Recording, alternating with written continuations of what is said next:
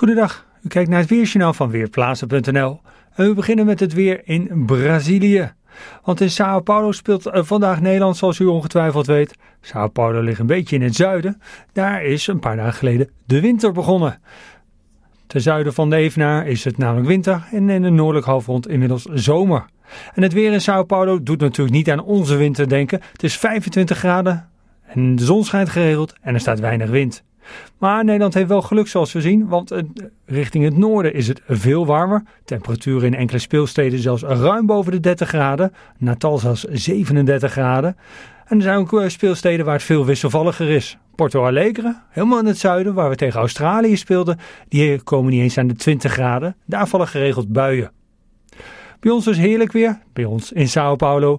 En ook in Nederland was het vandaag niet onaardig. Flinke zonnige periode, paar stapelwolken, maar het bleef overal droog. De Noordzee zit nog steeds behoorlijk vol met bewolking, maar die bewolking heeft ons amper bereikt.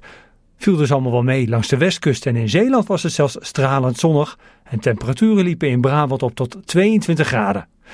Niet onaardig voor deze tijd van het jaar, gemiddeld hoort het net ietsje warmer te zijn. Ook vanavond nog vrij weer. Stapelwolken lossen op. Betekent dat we flinke zonnige periode hebben. En rond 10 uur gaat de zon onder. Temperaturen halverwege de avond 15 graden in het noorden, 18 graden in het zuiden.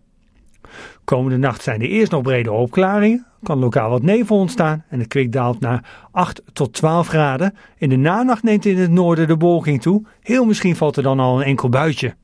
Er trekt morgen namelijk een zwakke storing van noord naar zuidoost over het land en die zorgt voor een aantal buien. Kunnen best pittige buien zijn, maar het droge weer overheerst. Storing levert wel veel wolkenvelden op. De zon schijnt veel minder vaak dan vandaag. Het lijkt er trouwens op dat Zeeland amper een bui krijgt en dat de meeste buien over het noordoosten en oosten gaan trekken. Voor de buien uit in het zuiden nog 20 tot 22 graden. In de rest van het land wordt de 20 graden niet gehaald. En tijdens buien daalt het kwik zelfs tot een graad of 15. Dus een enigszins kille dag, vooral in de noordelijke helft van het land. De komende dagen komt er een belangrijke verandering. De noordelijke wind gaan we geleidelijk kwijtraken. Heel overtuigend gebeurt het nog niet, maar het zorgt toch wel voor geleidelijk ander weer.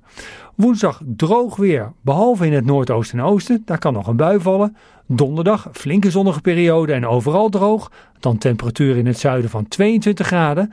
En vrijdag neemt de kans op buien weer toe. En in de loop van vrijdag begint de wind al geleidelijk naar het westen te draaien.